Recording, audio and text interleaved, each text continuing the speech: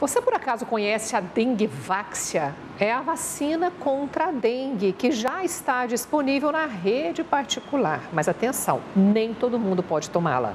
Já que o brasileiro está tão familiarizado com os nomes das vacinas e seus efeitos, que tal apresentar mais uma? A senhora já ouviu falar em Denguevaxia? Não, nunca ouvi falar. Nem imagino o que, que é isso. Denguevaxia? Não. Tem ideia do que, que possa ser?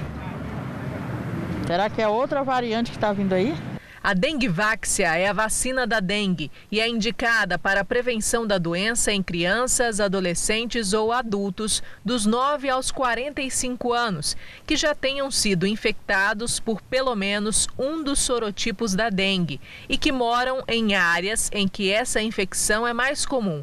Mas provavelmente você nem sabia que essa vacina existia, não é mesmo? Você sabia que existe uma vacina para dengue? Não. Não, nunca ouvi falar. Nunca vi falar. Sabia que existe vacina para dengue? Sabia. Sabia? Já.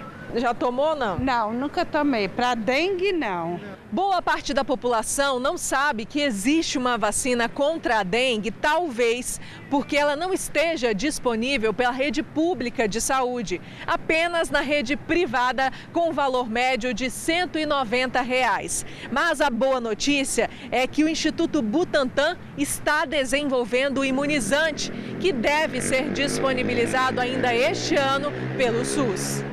A vacina poderá ser aplicada em pessoas que já foram infectadas por um dos quatro subtipos da dengue ou em pessoas que nunca tiveram a doença. Ela é uma vacina indicada para quem já teve a doença e tem que ter o um exame demonstrando que teve a doença. A dengue só em 2019 infectou quase um milhão e meio de brasileiros, causando 689 mortes. Desde 2009, pesquisadores do Butantan estudam a produção de uma vacina contra o vírus da dengue. Ela ainda não tem previsão de distribuição à população, mas os ensaios clínicos estão bem avançados.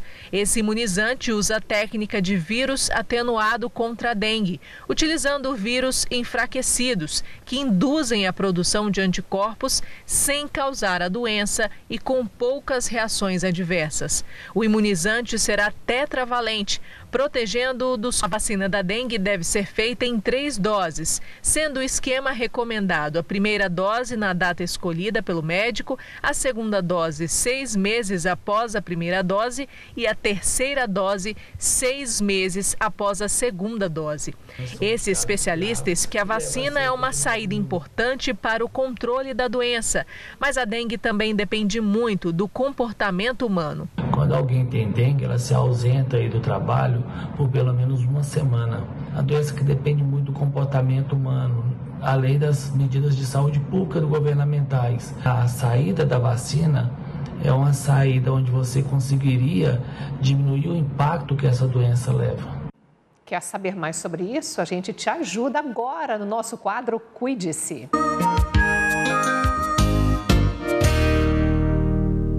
Com ele, o infectologista Marcelo Dayer. Muito obrigada pela presença, uma boa tarde. Boa tarde, um prazer estar aqui. Eu quero falar mais sobre vacina, porque está interessando muita gente, inclusive cobrar as doses na rede pública, porque isso já está acontecendo no Paraná. Mas antes, doutor Marcelo, a gente comentava aqui durante a reportagem é, dos sintomas da dengue, que causam estranheza até mesmo em autoridades da área da saúde. O senhor dizendo aqui que está recebendo muito no consultório, causa estranheza. O quanto os sintomas estão mais fortes, por quê?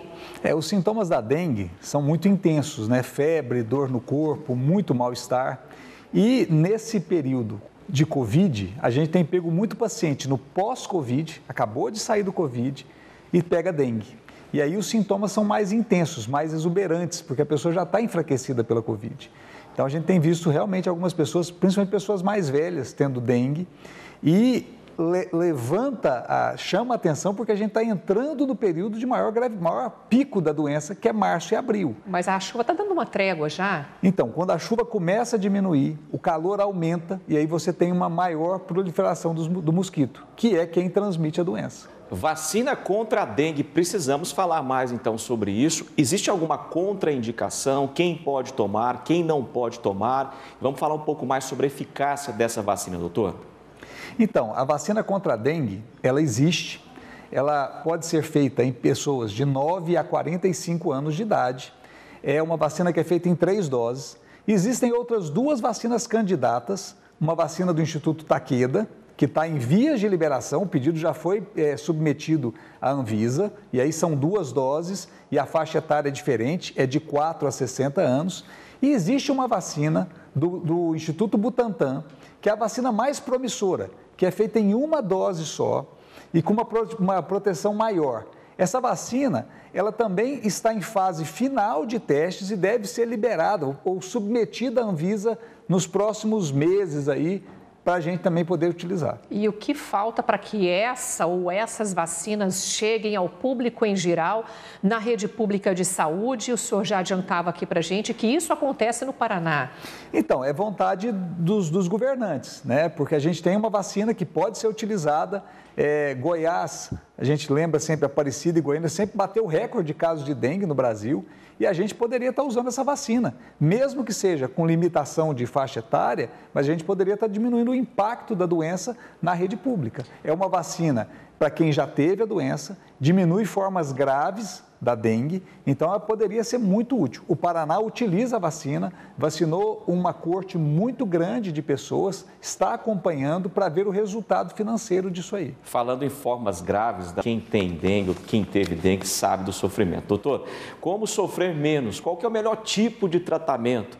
É, é só tomar muita água? Tem alguma medicação?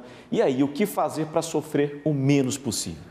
Pois é, dengue é uma doença que pode ser grave. Então, a, a, fase de tomar água é uma fase inicial. Então, é sempre importante, na suspeita da dengue, procurar o atendimento médico, porque a, a dengue pode se comportar de maneiras variadas em determinadas pessoas.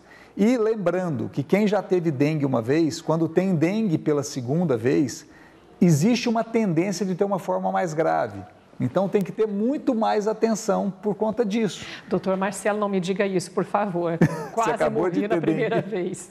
Vamos lá, participações dos nossos telespectadores na tela. Já tive dengue antes, mas estou com dengue novamente. Os sintomas pioraram, o que o senhor acabou de afirmar. Isso é normal? Normal não é, né? Não é desesperador. É, mas mas é, ela precisa ter atenção e precisa procurar o atendimento médico para monitorar com hemograma, as plaquetas, verificar a, a, quantidade de líquido que ela tem que ingerir. Então, ela precisa procurar atendimento médico. Realmente, na segunda vez que ela tem a doença, tende a ter uma forma mais grave. A telespectadora está ironizando aqui, está dizendo o seguinte: a dengue não pega em pessoas acima de 45 anos, não. Na verdade, ela sabe que pega, mas o senhor relatou em relação à vacina. Por que, que tem esse limite de idade a vacina, hein, doutor? Então, a vacina, na verdade, ela poderia ser utilizada até 60 anos. É porque no Brasil ela foi aprovada de 9 a 45 anos. Ela não é utilizada, a vacina que nós temos atualmente liberada já em, em uso ela não é utilizada em crianças menores que 9 anos porque não tem estudos de segurança e os estudos que tem mostraram que a vacina não foi altamente eficaz. Então, ela foi liberada a partir de 9 anos de idade. Mas ela poderia ser utilizada até 60 anos, que tem trabalhos mostrando que ela tem segurança para ser usada até 60 anos. Quando a gente fala, ah, por que eu não uso em pessoas com 80 anos? Porque não tem trabalhos de segurança para que a vacina seja liberada nessa idade. Agora, lembrando que quem optar por buscar a vacina, o cuidado continua sendo essencial para evitar focos do mosquito da dengue na sua casa, na rua, no vizinho. Tem mais participações na tela dos nossos telespectadores? Posso morrer de dengue? Já temos quatro mortes confirmadas aqui em Goiás esse ano, né, doutor Exatamente. Marcelo? Lamentavelmente. Exatamente. A, doen a dengue é uma doença grave.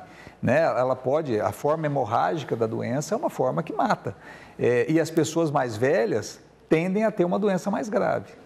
Mais telespectador participando na nossa tela aí, vamos ver, olha, já são quatro mortes no estado, bem relembrado aí, o que fazer para prevenir? Estou preocupada com a minha família. É, isso, a dengue precisa de controle coletivo, né? Tanto do poder público quanto das pessoas.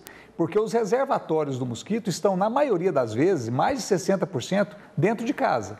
Então, é a calha que acumula água, então tem que mandar limpar a calha. É potinho de planta, são reservatórios pequenos. O vaso que, às sanitário vezes, também? O vaso sanitário, tampinha de garrafa acumula é, água. Então, qualquer líquido que acumule, qualquer água parada que fique, o mosquito usa isso para colocar os ovos e as larvas e se proliferar. E fazer aquela vistoria semanal, né? Viajando, a recomendação virar todos os vasinhos de planta, o vaso sanitário, aconselhável fechar, é Tampar, isso. isso. Todo, todos é, os vasos, né? Pneu, tudo que possa acumular água, é bom tentar tirar isso, né? Se você tem um vaso com planta, coloca areia né, para a água não ficar à mostra. Então, esse, esse, tipo de coisas são coisas fáceis, virar as garrafas, virar os utensílios, não acumular esse tipo de coisa, né, em casa ao, ao ar livre, então se for colocar num lugar que não, não acumule água, então que seja coberto. Sim. Esse tipo de proteção ajuda muito. O momento de cuidar é agora, lembrando, o doutor Marcelo Dayara acaba de afirmar que enfrentaríamos, infelizmente, o pico agora nos meses de março e abril. Ele nos ajudando mais uma vez no nosso quadro Cuide-se. Muito obrigada ao infectologista Marcelo Dayara. Uma boa tarde, tudo de bom. Obrigado, eu que agradeço, um prazer estar aqui.